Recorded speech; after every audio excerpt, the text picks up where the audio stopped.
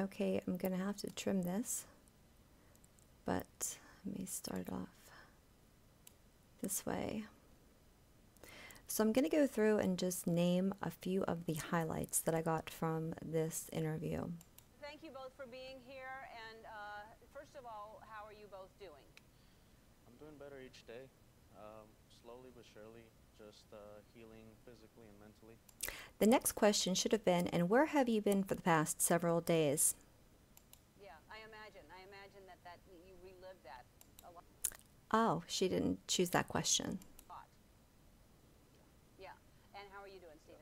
Definitely. And how are you doing, Stephen? Because we know you've been on the scene like your name's been thrown out in the press as someone who's pivotal, just like Jesus Campos. Yeah, it hasn't. And I actually think I understand why they brought him in too, which is funny because on my last video regarding, I had made some sort of comment and someone had corrected me. And it dawned on me then why they brought, why, why, why bring Stephen Schuck in? hmm I'll tell you in a second. Stay passive though. Uh, we're working to to get over this. Okay. So, Jesus, you're the security officer, and, uh, and, uh, and you. Uh, in uh, in uh, check on- did you like that? She did not want to say who he was a security officer for. She did not want to name MGM. She did not want to name any security company. She didn't, and so she just went right through that. Did you catch that? on a door that was, I guess when a door is left open for a certain amount of time, you're, you're supposed to go check on it, right? Yes, we gotta Yeah.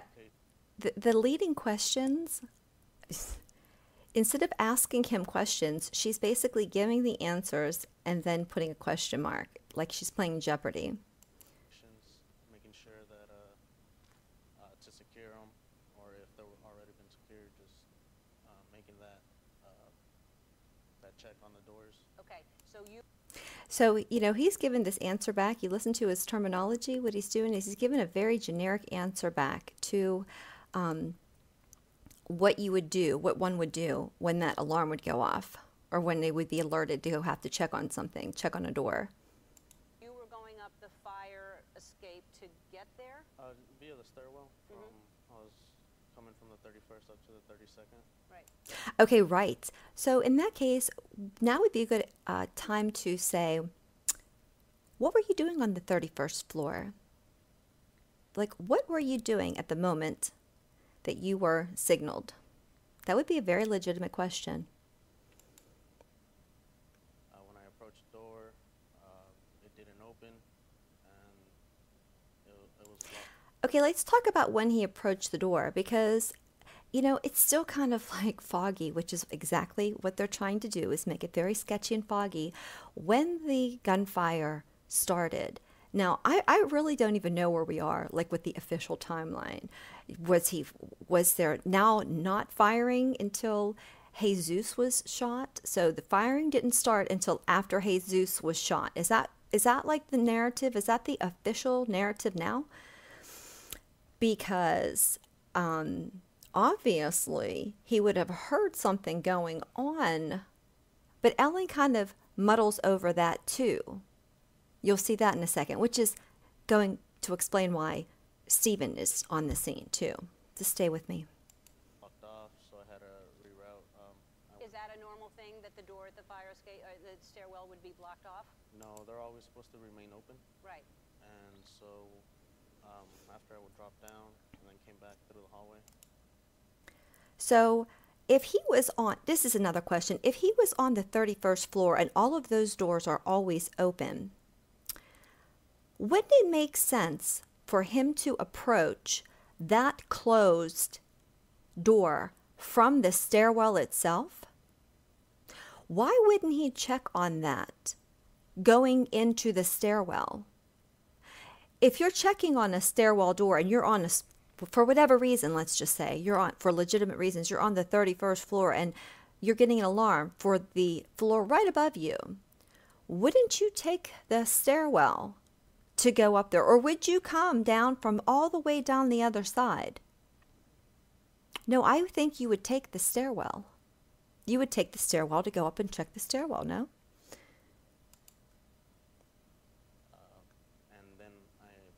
room, got into the door. Yeah, there's the lovey pats. Yeah, I, I, I- I'm just going to acknowledge that one time. Uh, there was a metal bracket holding the door in place. Right. So what we're talking about here, just Oh, she didn't pick up the Kleenex yet. Okay, so I like the diagram. This is so well prepared. I wonder who prepared that for Ellen. Yeah, I wonder who decided that this was going to be the way that this witness, witness to this mass murder, a witness to a mass murder. Just think about this. A witness to a mass murder, like the most notorious in history a couple weeks afterwards pops up on a talk show. Has there ever, I mean, I mean ever, ever, like ever, ever, been a time when that's happened? Ever. Obviously, it would be on a much smaller scale because this is unprecedented, this type of um, assassination on Americans. An assault, an assassination, a terror threat on Americans. so everybody's clear. Okay. So this is where the, the hotel room was, where the shooter was. This is the stairway, where, and this door here was blocked, and you didn't know. Yeah, so here, Ellen, you're coming down. You're coming down from here. She's pointing right here. So let me just ask why not, Mr. Security Officer?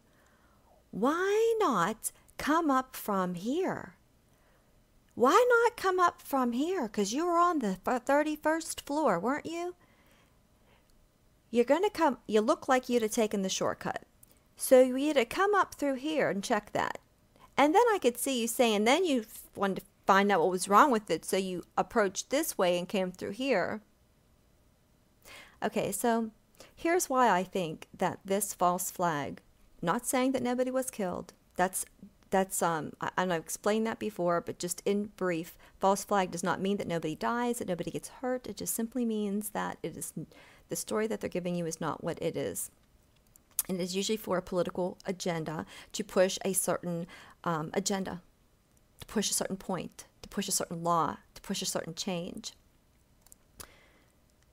I think that this was such a clusterfuck because the Trump administration was not on board with it, or because there's so much collusion and and in every in all aspects of the government. It's not just the Dems. It's not. Okay, it's in through the whole entire government. You know, you don't you, you don't really I don't think that Trump knows who he can trust. I just want to know that I can trust him. Okay? Because then he will have loyal people under him. He will. Fewer than the disloyal ones, I believe, by far. But did the Trump administration know about it? I don't know. I don't know if I don't know if they knew or not. But what I do think is that there was someone who let's call let's call Trump team B. No, let's call Trump team A. I've already fucked that up. Let's call Trump team A. And let's call the typical stagers of these false flags team B. Team B is used to people from the presidential uh, segments, Team A, to acknowledge these things. They have to have some people on that team to let things go and to just make sure things are because these these things aren't done just like you don't plan this on a Monday for the following Friday. You're talking about months and months and months, if you know, several months, if not more longer than years, that things are planned. So let's just say that someone on team A was like a double agent, meaning that they were going to go along with this, but they really weren't going to, but they were acting like they were on team B and really weren't. And that's that's the element that and this is this is why it's great to have Trump as president no matter what. No matter what you're going to say about not liking Trump and him not being the best selection of the president or whatever, he is breaking up the system that has been in place, that has been being perfected for years. And it's a, a system of tyranny against Americans. It's against our freedoms. It is against our rights. It is against our individualities. It is against our advancement as the world advances, technologically speaking, and so forth. When we're given things, it's to monitor us, it is to keep us under watch, it is to just make sure that, I mean, we're given a cracker in a maze, not because they're trying to feed us, but because they're trying to train us. And I believe this is I believe this was like this too. It's like a tra- it's like we're being MK Ultra trained, which will bring me to to uh, Stephen Schuck in just a second. But let me just continue. Know that till you came up in the, in, through the elevator and went through this door and saw that there was something blocking that door. And, and when you saw that, did you think that's weird? Why would somebody put brackets on it? Okay, so Ellen's been doing interviews like this for quite a few years, so I'm pretty sure that she understands what the uh, ask a question, get an answer is, instead of give an answer to every non-question that you're that you're setting up. If if everyone doesn't see through this as the most contrived interview of the century, and the fact that she's even really allowed, I mean, I don't even even know how she's allowed to sit here and ask him these questions about this. If this is not, this should be an FBI investigation, shouldn't it? Shouldn't this be an FBI investigation right now? Shouldn't he be in part of this? I mean, people are people were get, allegedly they had their cell phones taken, they had all footage erased because it was under FBI information, so they weren't allowed to go ahead and do anything about that. They weren't allowed to say anything. They were allowed, but now Jesus can be on Ellen and be just con- confirming or denying whatever information makes no sense. Completely illogical. Door? Yeah, that was, that's just uh, out of the ordinary. It's That was the normal. beginning. Yeah. Okay. And then you, The beginning. I mean, at the beginning of what? The beginning of when you thought something was wrong because no shots were being fired up until that point because you were completely clueless as to whatever else might have been going on up until that point. And do we notice that she's not giving any specific times? They're all aware that there is a huge discrepancy in time, but yet during this whole interview, you'll see that there is no mention to specify time. you walk out of this and this just slammed? Um, well, when I was in between that area, I was calling uh, security dispatch to get transferred to engineering. Uh, they didn't know anything about it, so uh, they You know, there's something about that that that seems. Yeah, I don't know. they dispatched an engineer to uh, go uh, verify what that was. That's when you got called. Okay. And at that Yes. heard uh, what I assumed it was drilling sounds. Okay, drilling. See, now he had obviously made statements prior that were noted and let out about the drilling. And maybe Jesus made a mistake. Maybe Jesus disappeared and they had to bring back Jesus because I, this guy looks like he's packed on about 40 pounds.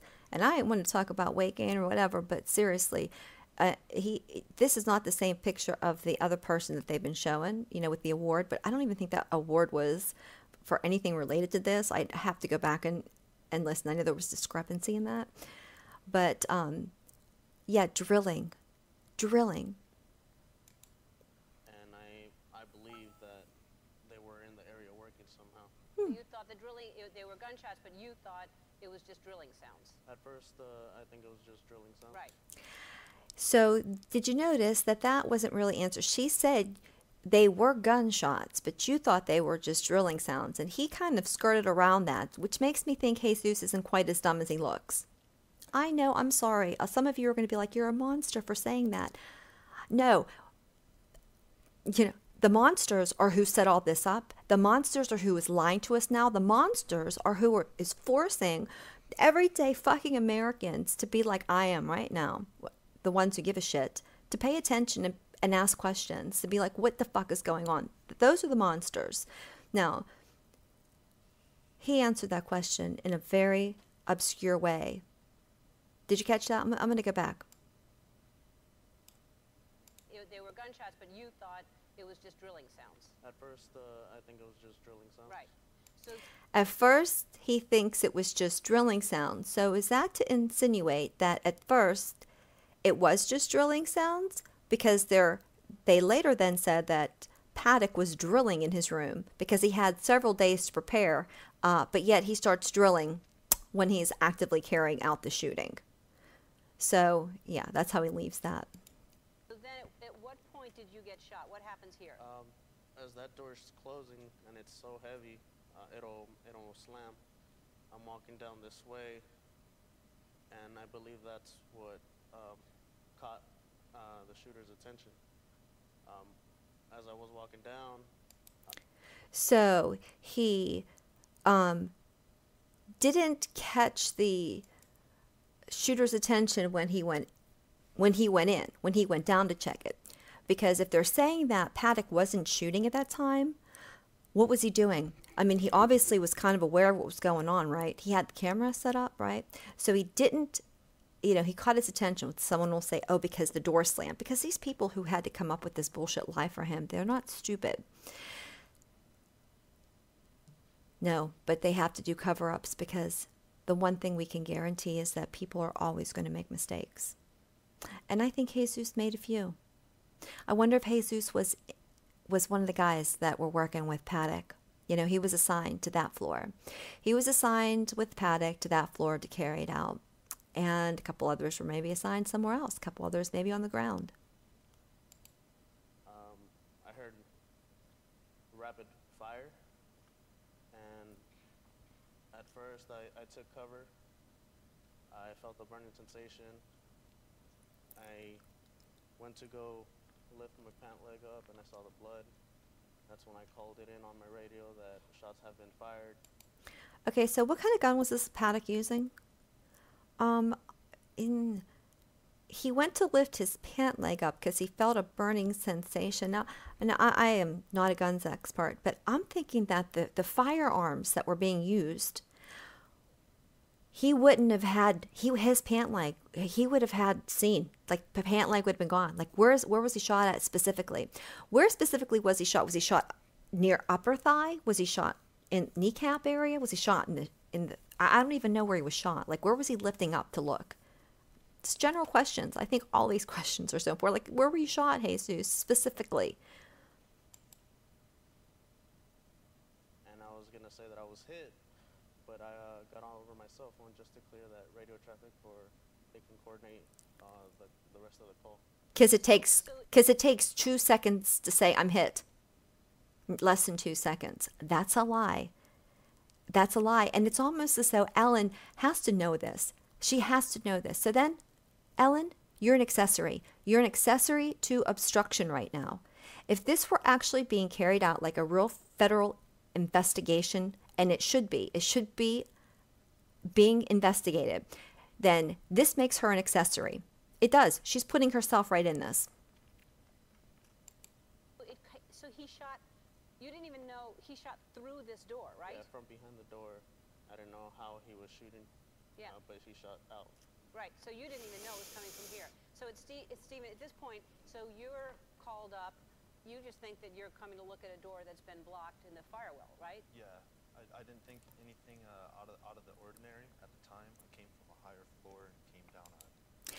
And what was he doing on the higher floor? Does he reside on the higher floor? And can he concur then that there were no shots fired at that point? Did he hear shots? Ah, oh, this is what brings us to why I believe they brought Stephen Schuck in on it. Different hallway, uh, service elevator, and I walked out. I rounded the corner for the 100 hallway, and that's when I, you know, it was quiet at this time, and the doors are set back, as you can see in that, about a foot. It was quiet at this time.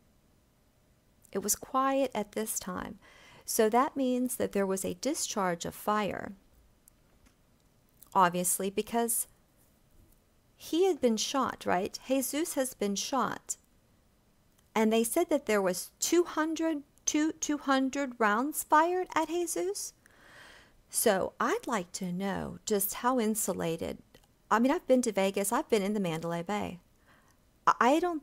I, it's insulated. I'd like to know if it's that well insulated that you can't be firing off these types of assault rifles, 200 rounds, and him coming down and have be totally clueless and not hear anything.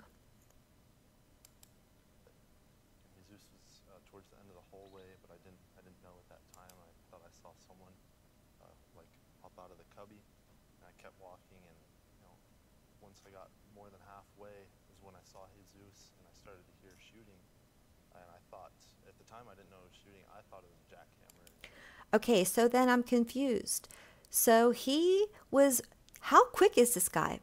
Like, I don't know. These engineers for the building, they are really quick, man. That's like a stat because he had just called in, right? He had just called in about the door.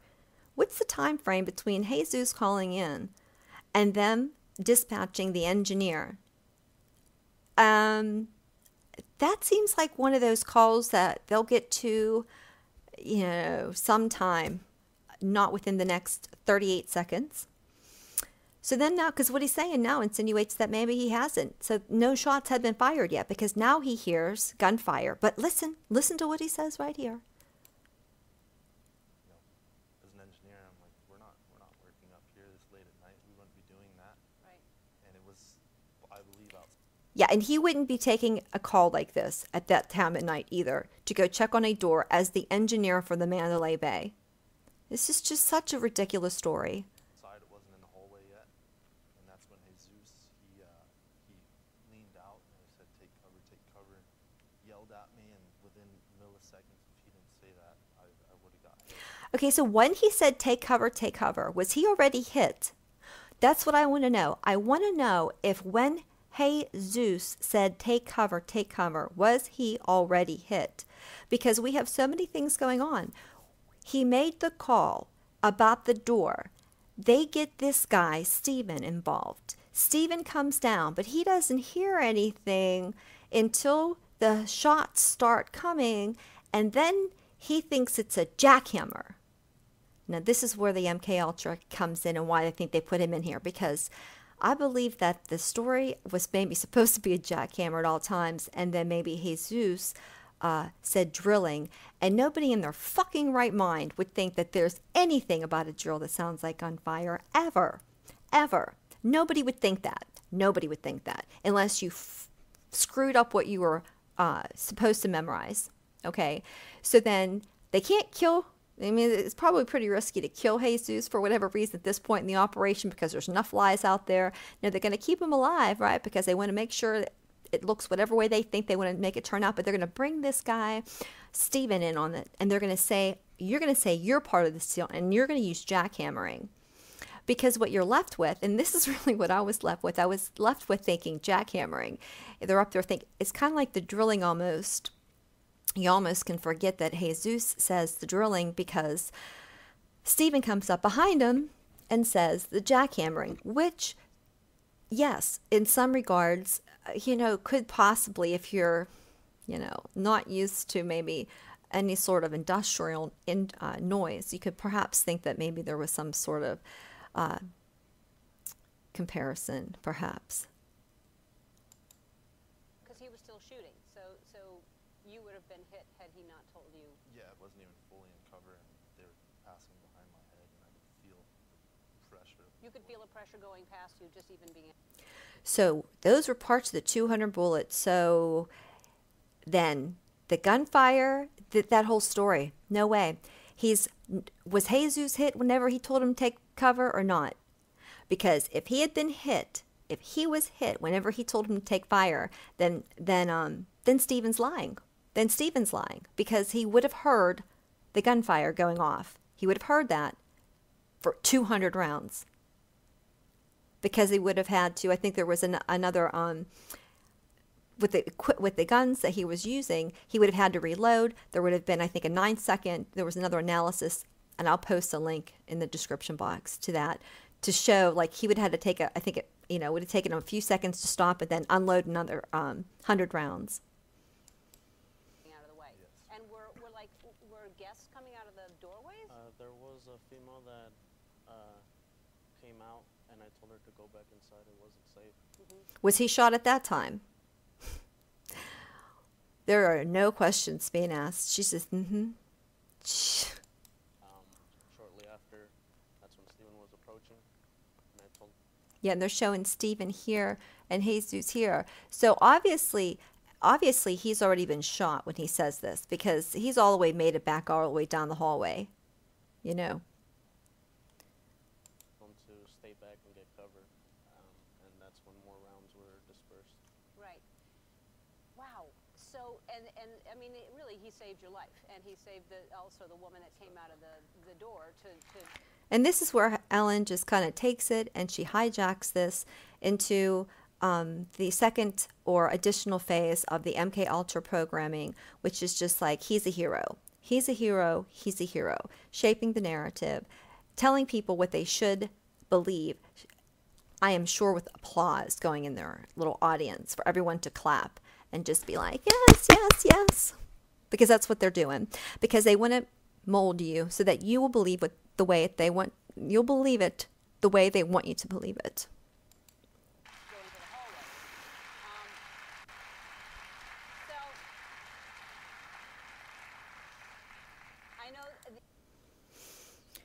I don't doubt that he doesn't. Could you imagine that kind of a lie? Say, let's just hypothetically, hypothetically say it's a lie. Could you imagine that type of lie?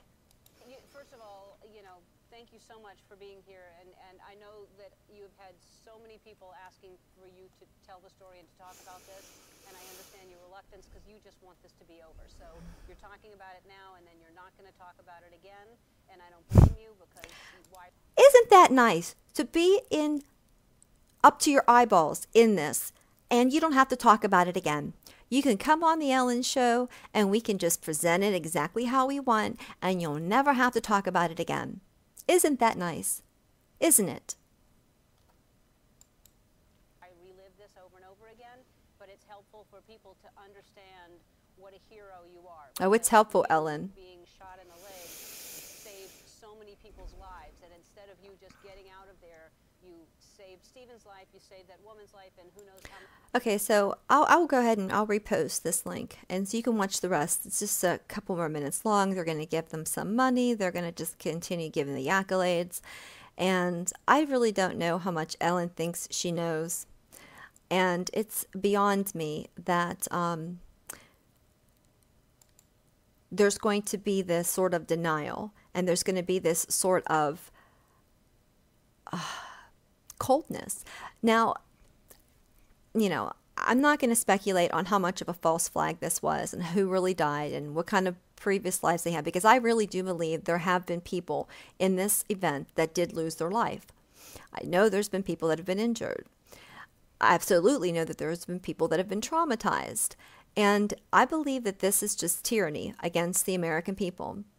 For, you know, President Trump to sit there and say that he's going, you know, about Bashar al Assad being a bad man, and that he may be, saying that he gasses his own people. That always sounded really kind of weird to me. Like, why are you going to gas your own people? What, what gives? What? Why would they do that? But you know what? Someone man, same. Someone could say the same thing about this right here. Why would the government? Why would the government do this to their own people? Control. That's why. To control. Maybe to study people, human behavior, depopulation. It's another layer of the MK Ultra programming, you know, insurance monies. Who knows? Like there's, it could be endless. Lots of reasons. It's not just one reason. All right. Um, this has probably been a really long video, and I'm going to try and upload this and use my editor. I'm still working on it. I do have these new headphones. They kind of give me a little bit of a headache, but I think that the audio will be clear, and um, that would be good. I hope everybody has a good night. You can post your comments too to tell me what you think about anything that I kind of shouted out. I'm not like an investigator. You know, I ask a lot of questions, and the questions I ask aren't rocket science. They're pretty basic. All right, have a good night. Bye.